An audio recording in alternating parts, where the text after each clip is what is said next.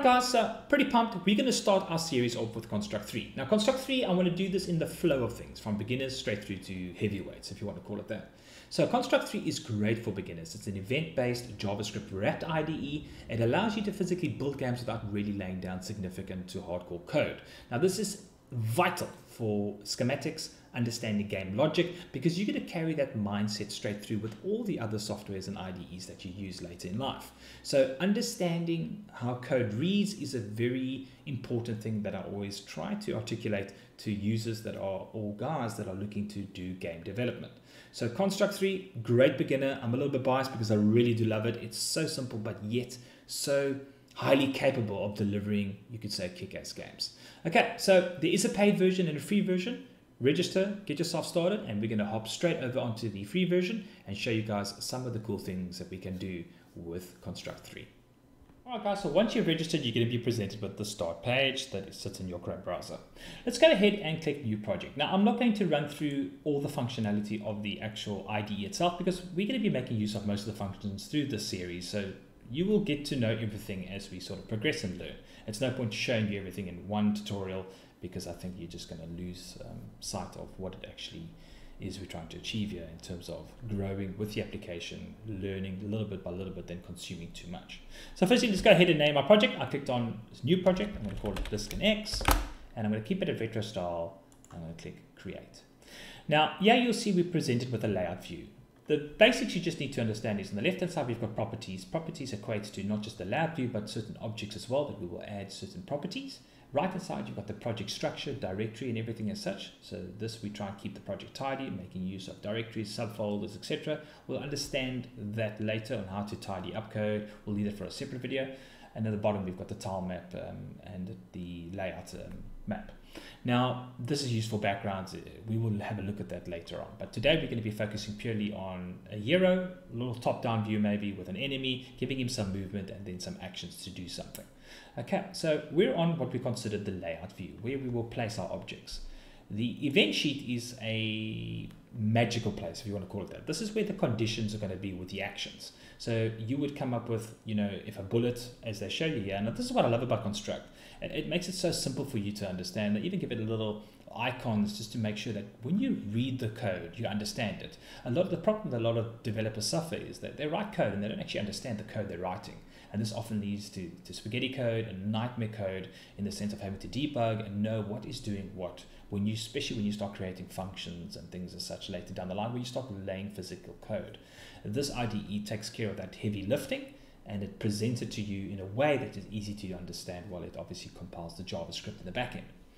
So firstly, let's go ahead and create a object. Now, objects are often known as sprites. These are the little trees, the little people, etc.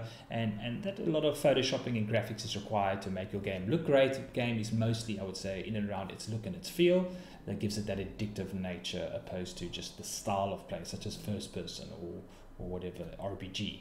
You know, you've got to give attention to detail. So the, the purpose of this demonstration is just purely going to be to go through it as quick as possible um, and as keep the video as condensed as we can. So we're going to go ahead and right click and insert a new object and we're going to select sprite. Now you can use the searcher to always speed things up, especially when you've got so many plugins and, and, and objects, um, which I'll show you later when search becomes vital. Let's click sprite. Let's click on there. Let's just go ahead and just fill the block here for now. I'm going to just use a probably a better color, purple, and let's fill the block. And let's give him two little, let's say two little two little eyes, just for now. So we know that's the, the front view. Right, cool beans, best retro art you're going to see by far. Right, so then we've got a little player. You notice he's really big. We're going to go ahead and just downscale him. You can obviously just make use of the size properties here and always make, you know, on the left-hand side, if you want to make use of what we say show to grid, this allows you to keep your project within that, in that, you know, if you're using a 10 by 10 or a 32 by 32, making sure that everything is scaled correctly for different resolutions. So we're going to go ahead and just make that little guy there. That is our player one. Just make him a little bit smaller. Right, let's do just that. Fantastic. Right, so there's player one. And if we run the preview for this, you'll notice that we've got a player, but he's not doing anything. If I use the arrows, the mouse click, nothing happens. All right, so this is where behaviors kick in. Now, behaviors, once you've selected the object, is on the left-hand side. Behaviors is what you want this object to do. You need to give it the component. You could say the heart to do so, the legs, the arms, etc. And that is called behaviors. Then in events sheet, I always like to simplify it this way for our students, is that then we create what we call the movability of those arms. But you firstly need to add the arms. So in this case of movement, if I can put it simply. So behaviors, we're teaching the brain about behavior.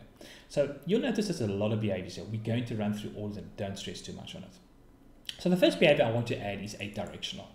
Right, eight directional makes sense. It's self-explanatory. It's an eight directional movement. So if I go ahead now and click the preview, the arrow keys will allow my little guy to move about. Just like that, we've got a moving character in our first game. Now, this feels very unnatural, unfortunately, because of the fact that um, we wouldn't really use the arrow keys in, in, in a game. So I'm going to go ahead and code that correctly to the keyboard. Now, in order to get the mouse and the keyboard to work correctly, we need to tell the application, listen, we've got a mouse and a keyboard. So again, that's an object. So what we need to do is just, once again, insert a new object and go and look for keyboard. And remember, once you've selected and added, it will disappear from the list. Let's click keyboard You'll notice that keyboard came up in the object types. This is great, obviously, guys, to put in different subfolders because everything's going to become very messy in object types. So it's always good to make a new, add a folder. Uh, okay, in the in the free edition you can't, but in your purchase edition you can. And we need to create folders for each gameplay, for argument's sake, or whatever that might be. Right, so we've got keyboard now, and let's go and add one more in here, and let's just click insert new, and let's take mouse because I want to use the mouse in my top down. Let's select mouse and you'll see that mouse is here. This gives me the ability now to code the mouse and keyboard functions onto our player. So let's jump over to the event sheet and let's get some magic happening. Our first one's going to be a system-based movement, if that makes sense. So let's just first create a group so that we know that everything is in one group. We're going to call it player movement. Right? The reason for this is if we choose to toggle or comment this out, in other words, disable, we get to just disable the actual top of this group and everything that sits in it will be disabled. So for bugging and testing, and obviously for neat code, if you've got more than one developer, this is a vital form of, of you could say, development that just structure is key. Structure is so important when it comes to development. Think about the next guy that has to take over. Right, let's go ahead and add our first event, which is going to be a system-based event because I want every tick to take place. In other words, I want the, the every frame to do something. So we're going to give it the every tick command. Then what I want to do is I want my player, instead of using the mouse, the, the, the, you could say directional keys, I want it to face where my mouse cursor is going to face, like a Diablo, if that makes sense. Wherever the mouse cursor is, I want to be able to look that way. So the first thing I'm going to go ahead and add is the that, that direction. Those two, you could say that angle. I want to set the angle of that. So I'm going to go ahead and click on sprite. And then we're going to go, just type in angle and we're going to go set the angle. And we are then going to say angle. And we're going to open brackets. Everything should just pop up that you type in. And we're going to go player one player sorry player dot x which is the x player. Uh, sorry player dot x comma player dot I don't want shorting that my keyboard is player dot y. Oh come on. Player dot y and we're going to comment that and we're going to say is mouse dot x. You'll see that it just pops up comma mouse dot y. And then we're going to set that. Right so player should just be capital for it to pop up. And that should be that should be it. Right so if you click on uh, come on is the name of our sprite is player. Okay, the reason why this is not coming up is because I've cleanly forgotten to give the sprite a name. So I'm just going to quickly check on sprite here and I'm going to say player. And we're going to go ahead and add that action again. Player, angle, set the angle, and let's go now again. So let's go angle. We want to angle the player, player one, the two different data points, which is player, you can see, x,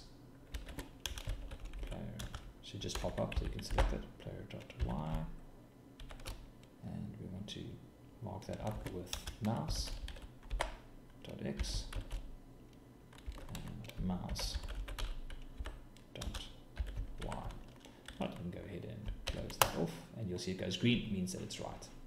Let's go ahead and add that. Now effectively, if I move the mouse cursor, essentially my player should follow him. See that?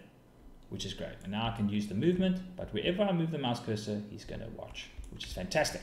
So that's what we call basically a condition as well as an event.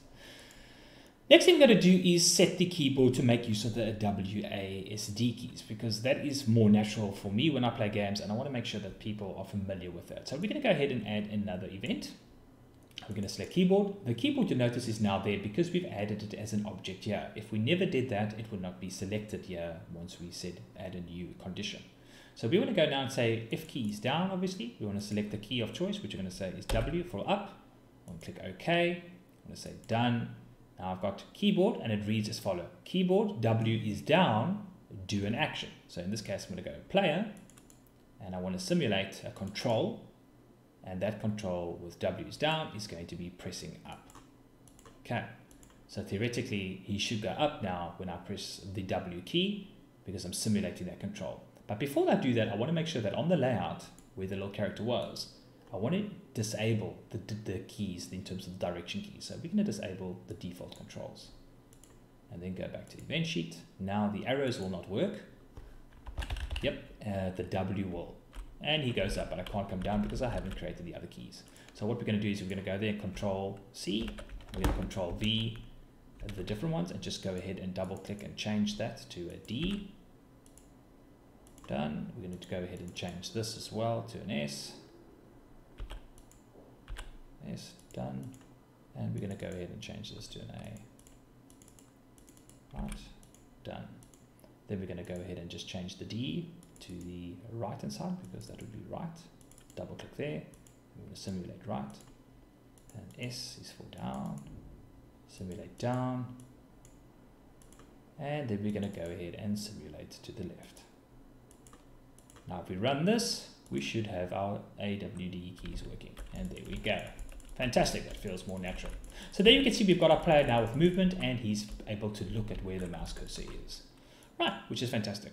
The next we want to do is basically add an enemy and then we're going to add some conditions to engagement between player as well as enemy. So we can go again and do just that. We can right click, insert a new object, drop down to a sprite, most commonly used, and we're going to go ahead and create a enemy, make them a bit, let's make him blue. Yeah, use that tool and give him some red eyes.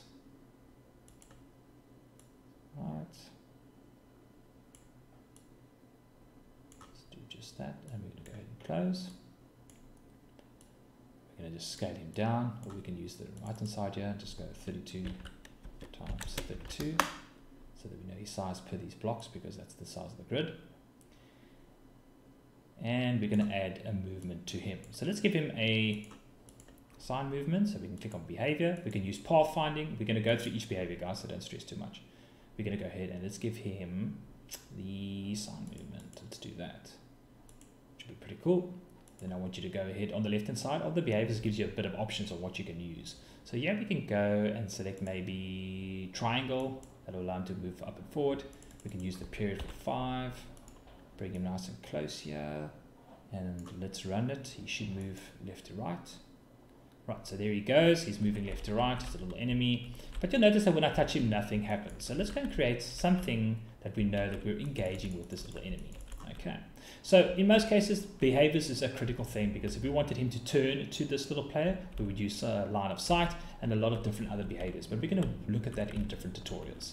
So let's add some engagement. Let's go back to our magic sheet, I like to call it, where the magic happens. And let's go and basically add a new event. Now, I would again group it, but I'm not going to, uh, we could probably just group it. Let's call it attack. Why not? Let's keep things properly. Create a new group and let's go and say add an event. And we're going to say player. So what's going to happen here is we want to create now something where we basically can give a sort of action between player and enemy. So yeah, I'm going to add the collision. So let's go player and we're going to look for the collision uh, on collision with another object, which is self-explanatory or it's overlapping, but we're going to go with on collision. On collision. In other words, we can then select the enemy, which is known as sprite, which I'm going to change shortly. Bad habit there again. Let's go ahead and rename this. I'm going to call that enemy so that we know we're dealing with enemy and we don't we're dealing with player. So there you see player on collision with enemy, that's a condition. Do something. So in this case, let's be creative. Let's go and give him a destroy just to show you how simple that would be. So we're going to go on on on on collision, let's destroy the enemy. Let's say this was a tank driving over this uh, a bicycle for argument's sake. Let's destroy that. So we're going to go with the destroy and we'll type that in. Destroy. So effectively, if I now touch this enemy, he's going to destroy and he is dead. All right. So let's be a little bit more creative than that because I think that just doesn't do it as much just justice. Let's go ahead and delete that. Let's go back to our layout and let's add another behavior. Right, so let's say the player is going to get hurt when touching the enemy. That so makes a bit more sense. So let's go to behaviors. Let's go and add the flash to give it that feel. Let's add a new flash. Right, and we go back to our event sheet and we'll say player on collision is the is the condition. We're going to go ahead and say player because we added the behavior flash now will appear. Let's make him flash for 0.1 for a duration of 0.5 seconds. So let's click done. And what should happen now is he should flash. So if he touches, and there you can see he shows that he got hurt for 0.5 seconds. Alright guys, so that is how we use event sheets with layouts and very simple based behaviors to get things done. Now, often the parameters on the left hand side, does carry a bit of weight and it does allow for extra things to do, but I like to often just code it in on the event sheet. But this is a great introductory just to show you guys how simple it is to lay down conditions and events with regards to um, with regards to Construct 3. I think you guys guys will find it extremely fruitful moving forward to be able to develop kick-ass games. We're going to be doing that over the course of this um, the series. Uh, but that is going to conclude for our first tutorial. I hope you enjoyed it and we'll see you guys in the next video and we're going to give the AI as well as the player some, some more behaviors and some functionality and show you some more advanced tactics. Thanks again guys. Don't forget to subscribe and hit the notification bell down below. Videos will come out daily. Catch you guys in the next one.